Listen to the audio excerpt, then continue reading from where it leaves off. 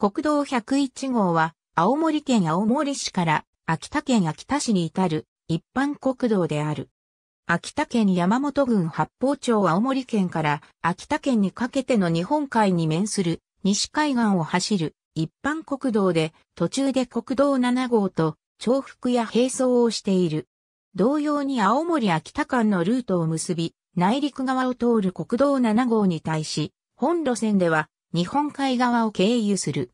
野代市北はサンセット道路、日本海を望む海岸道路として人気がある。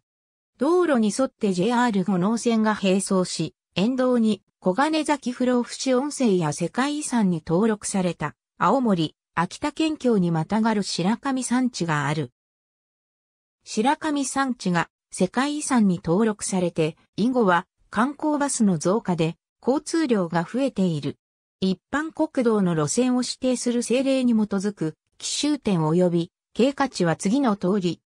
国道指定当初は青森市から秋田県の白市の国道7号交点までの国道であったが、1993年の国道の改正により、小賀半島を経由し、秋田市まで延伸された。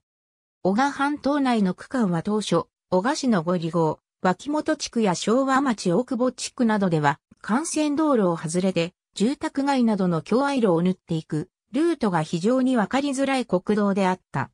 現在は、それらの旧道区間をパスするバイパス道路が国道指定され、京愛路区間は県道や市道に降格されている。青森県深浦町接続路線図。ありがとうございます。